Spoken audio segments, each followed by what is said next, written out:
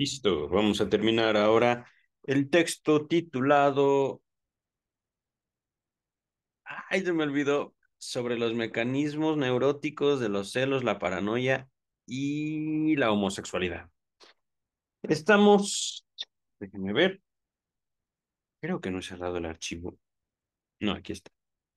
Eh, un segundito, lo comparto en pantalla. Sobre algunos mecanismos psíquicos de los celos, la paranoia y la homosexualidad, creo que se llama.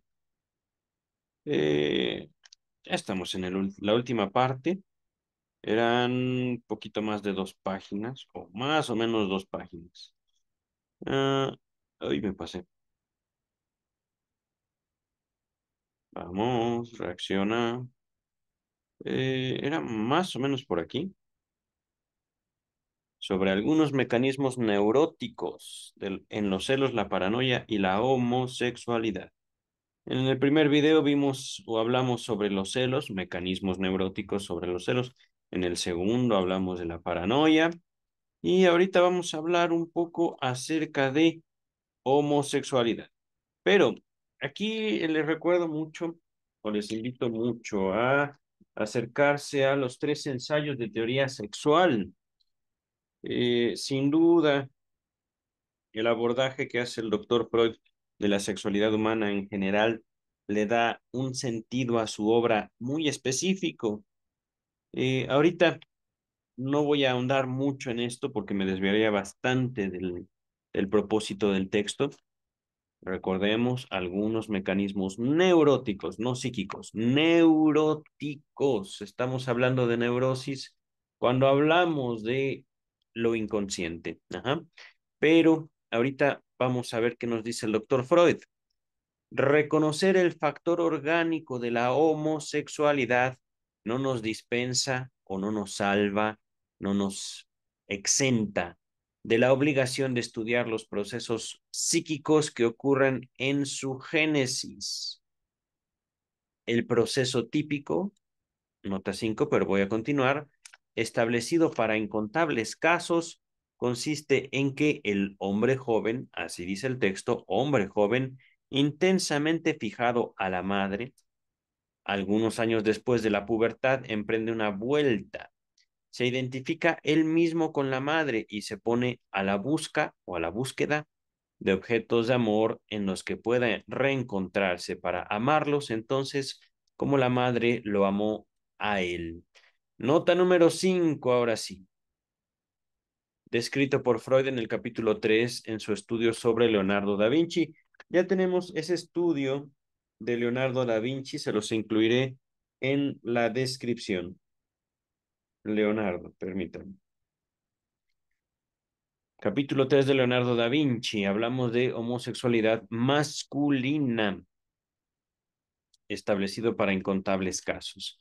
Y aquí les recuerdo una parte importante del psicoanálisis es que se separa de la noción médica, se separa, entre otras cosas, de la salud mental. Ahorita eh, les digo esto para no ubicarnos en un sentido de, ah, el psicoanálisis cura la homosexualidad o el psicoanálisis condena la homosexualidad. Por eso les recomendé el texto de los tres ensayos de teoría sexual para que eh, podamos aproximarnos a una eh, idea de la sexualidad mucho más allá del coito, mucho más allá incluso de cuestiones de sexo y género. Hablamos de una sexualidad, no, no, no solo homosexualidad, sino sexualidad en el sentido general de la palabra, en cuanto a la formación de la idea, de la noción, de la palabra deseo. Ajá. Ahorita vamos a continuar con el texto. Como marca este, de este proceso, se establece por muchos años esta condición de amor. Los objetos masculinos deben tener la edad en que se produjo en él esa transmudación. Oh, mira, la edad, no sé si se refiere, digamos, como a un retroceso, es decir, eh, que los objetos que busca deban ser menores.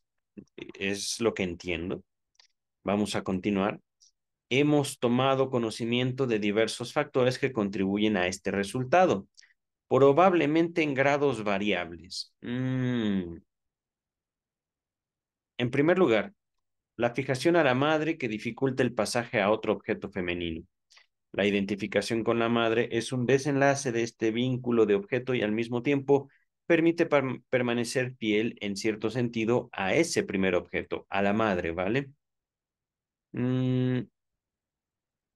Después la inclinación a la elección narcisista de objeto, es decir, me busco a mí mismo, de que en general es más asequible y de ejecución más fácil que el giro hacia el otro sexo. Ciertamente, ciertamente.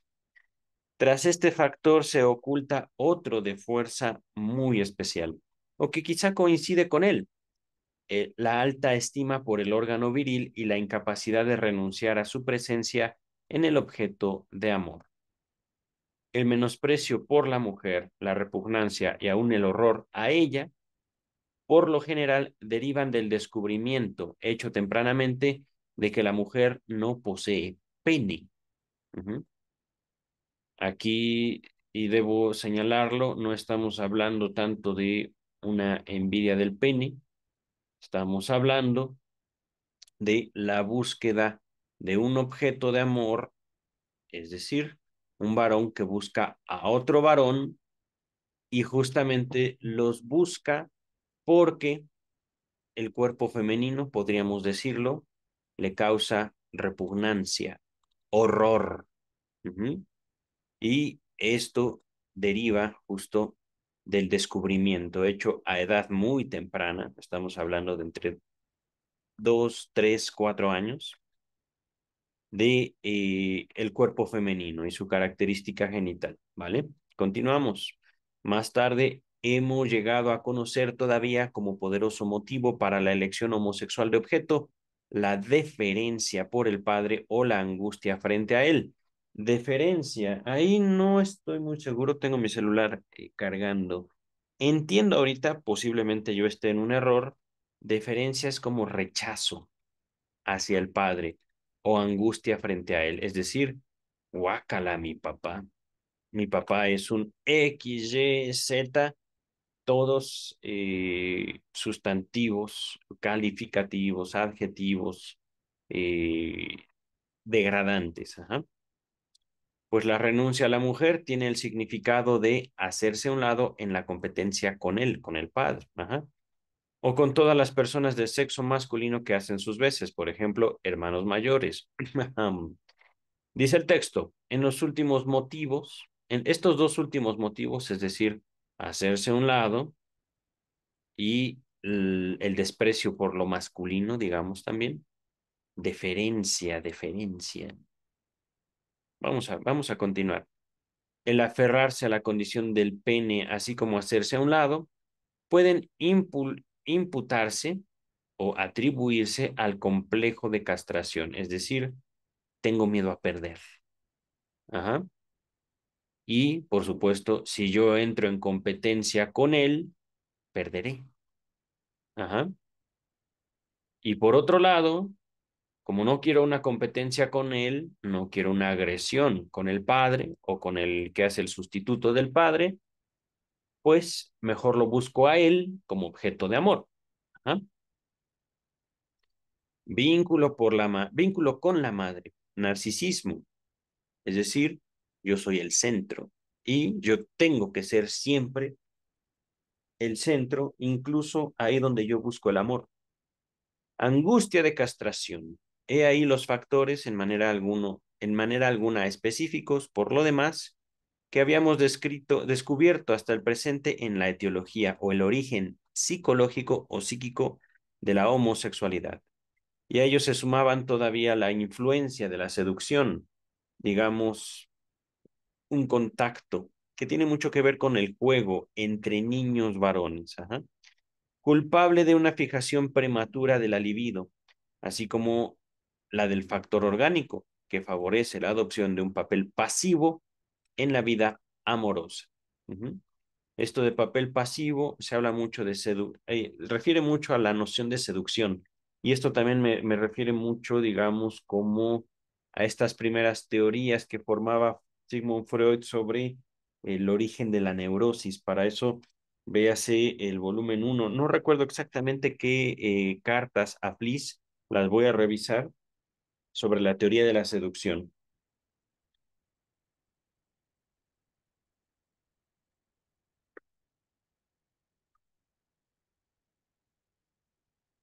Vamos a continuar. Pero nunca creímos que este análisis de la génesis de la homosexualidad fuese completo.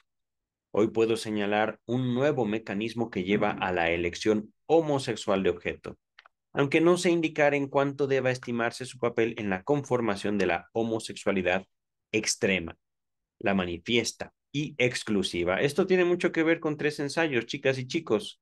En los tres ensayos se habló, digamos, de los grados de homosexualidad en cuestión tanto del deseo como del acto. La elección exclusiva de objetos de amor, es decir, eh, gente que uno quiere tener cerca, de determinada manera. No hablo o no me refiero únicamente al coito, sino tipos de hombres o tipos de mujeres con los que uno quiere relacionarse. Y no me refiero solo al ámbito sexual, al ámbito del coito, sino al ámbito afectivo. Ajá. Ahorita vamos a continuar. Por supuesto, les dejaré los tres ensayos de teoría sexual en la descripción de este video. Dice el texto, la observación llamó mi atención sobre muchos casos en los cuales había emergido en la temprana infancia mociones de celos de particular intensidad en los varones que provenían del complejo materno e iban dirigidos a rivales, las más de las veces hermanos mayores. Estos celos provocaban actitudes intensamente hostiles y agresivas hacia los hermanos. Un caso real eh, el hermano menor intentó matar al hermano mayor, por ejemplo, eh, asfixiándolo. Continúa el texto. Que podían extremarse hasta desearles la muerte. En el caso que yo atendí, es, no fue un deseo, fue un intento, pero fracasó. Eh, continúa el texto. Empero sucumbía en el proceso, sucumbía esta moción o actitud hostil, sucumbían, se morían esas esos deseos en el desarrollo, o al menos no eran tan manifiestos, más bien eran muy latentes. Continúa el texto. Bajo los influjos o bajo la influencia de la educación y sin duda también por la continua impotencia de estas mociones, es decir, quiero que te mueras, hermano mayor, quiero que te mueras, hermano mayor, pero no pasa nada, y a pesar de que yo actúo, tú te defiendes, maldito, eh, se llegaba a su represión, es decir, no que desaparezca la actitud o el, deseo hostil, el deseo de muerte hacia el hermano mayor, no desaparece, al contrario, puesto que se reprime, se aumenta, pero en lo inconsciente. Vamos a continuar. Y, en un, y a una transmudación de sentimientos, de suerte que los que antes eran rivales devenían ahora los primeros objetos de amor homosexual. Un desenlace así del vínculo con la madre exhibe múltiples e interesantes relaciones con otros procesos que conocemos. Es, en primer lugar, la cabal contraparte del desarrollo de la paranoia persecutoria, en la cual las personas a quienes primero se, se amó devienen los odiados perseguidores, mientras que aquí los odiados, los odiados rivales transmudan o se transforman en objetos de amor. Te odio tanto que te amo. Te odio tanto que voy a querer estar contigo, aunque sea en otro cuerpo. Uf. Continúa el texto. Además, se presenta como una exageración del proceso que, según mi opinión, de Freud, conduce a la génesis individual de las pulsiones sociales. Ah, qué bello está eso. Véase Psicología de las Masas y Análisis del Yo. Texto hermoso. Psicología de las Masas. Regresamos al texto principal. Aquí como allí están presentes al comienzo emociones hostiles y de celos, que no pueden alcanzar satisfacción, y los deseos de identificación tiernos, así como los sociales, se engendran como formaciones reactivas, es decir, contrarias, contra los impulsos de agresión reprimidos. Con este nuevo mecanismo de la elección homosexual de objeto, su génesis en la rivalidad refrenada y la inclinación agresiva reprimida, van mezcladas en muchos casos las condiciones típicas que ya conocemos. No es raro enterarse por la biografía de homosexuales que su vuelta o giro sobrevino después que la madre alabó a otro muchacho y lo ensalzó, lo reconoció como modelo. Ojalá fueras así. O qué bonito muchacho. Ah, entonces, ¿te gustan los muchachos, mamá? A mí también. Ajá. ¿Por qué? Porque yo soy como tú. Y esto, por supuesto, hablando de un varón hacia su madre. Por ese medio se estimuló la tendencia a la elección narcisista de objeto. Tras una breve fase de agudos celos, el rival fue convertido en objeto de amor. Pero en lo restante, este nuevo mecanismo se diferencia, se separa, se caracteriza por el hecho de que en él la transmudación se produce a edad muy temprana y la identificación con la madre aparece en el trasfondo. Además, en los casos que yo observé, provocó solo actitudes homosexuales que no excluían la heterosexualidad, ni conllevaban un horror feminae o un horror al género femenino, un horror al cuerpo femenino. Entonces, fíjense, hablando de la sexualidad, en psicoanálisis la observación que hace Freud de sus pacientes. Está hablando actitud. Es decir, eran chicos heterosexuales en su comportamiento y aún así tenían actitudes. No tenían sexo con otros chicos, pero, ¡pum! Deseo. ¡Pum! Celos hacia el amigo. Uh, Dice el texto, es sabido que un número considerable de personas homosexuales se dirigen por un, se distinguen por un particular desarrollo de las mociones pulsionales sociales y por su consagración a intereses colectivos. Se estaría tentado de dar esta explicación teórica. Un hombre que ve en otros hombres objetos posibles de amor tiene que comportarse hacia la comunidad de los hombres diferentemente que otro, que se vea precisado a discernir en el hombre, ante todo, el rival frente a la mujer. Contradice esto, empero, el que también en el amor homosexual hay celos y rivalidad, y que la comunidad de los hombres incluye a estos rivales posibles. ¿Uh? Pero a una parte de esta fundamentación especulativa, no puede ser indiferente respecto de la alianza entre homosexualidad y sensibilidad social, el hecho de que la elección homosexual de objeto no pocas veces proviene de un refrenamiento precoz de la rivalidad con el hombre. Es decir,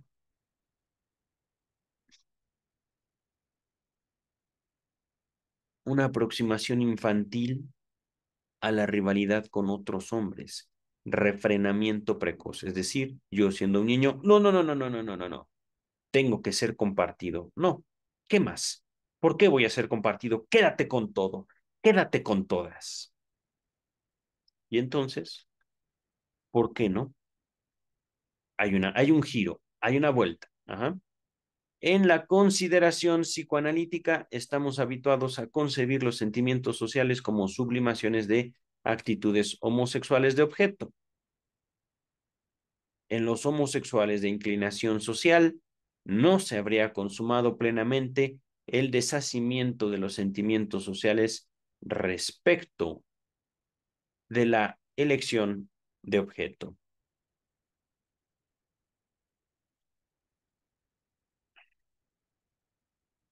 Estoy, estoy, estoy releyendo esto. Es que nuevamente la palabra sublimación podría provocar un poquito de ruido. Sublimación es como eh, aprovechar la energía de la pulsión y, estoy, estoy aquí eh, apuntando directamente a la pulsión tanto sexual como agresiva pulsiones yoicas y pulsiones, pulsiones de objeto, cómo eh, aprovechar sus energías con el objeto de establecer eh, relaciones sociales, contacto social. Y esto es importante notarlo. Le recomiendo mucho otra vez Pulsiones y Destinos de Pulsión, eh, donde se habla mucho de la sublimación. O bueno, al menos un poquito más que esta simple mención de una palabrita extraña. Eh, ¿Cómo poderlo poner? Hmm. Podemos incluso ser populares, podemos ser bastante eh, activos y exitosos en un sentido social, aprovechando el odio que nos provoca la humanidad por ponerlo de una manera. Inclinación social, justo podemos entenderlo como el gusto por la convivencia, lo cual en sí constituye un enigma. ¿Por qué una persona gusta de contacto con otras? Voy a dejar hasta ahí mi comentario y por supuesto eh, como ven, hemos terminado.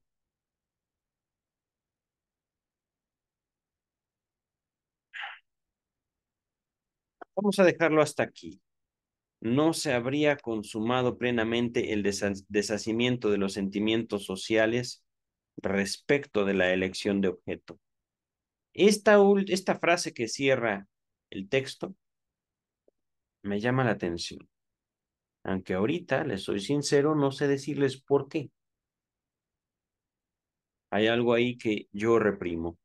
Pero eso no es culpa de ustedes, queridas y queridos. Vamos a dejar este texto hasta aquí. Voy a seguir pensando en esto y voy a ver este video al menos un par de veces. Hemos terminado, al menos por hoy. Cuídense mucho. Nos estamos viendo para el siguiente video. Eh, digo, el siguiente texto que se llama... Vamos, vamos. Hey. Ya no está reaccionando la computadora. Ahí está. Dos artículos de enciclopedia, psicoanálisis y teoría de la libido. Con ese texto finalizamos, eh, bueno, no, no es cierto, ya estamos prontos por finalizar el volumen 18, solo les comento. Pero, por el momento, es todo. Yo me voy a dormir. Cuídense mucho. Bye.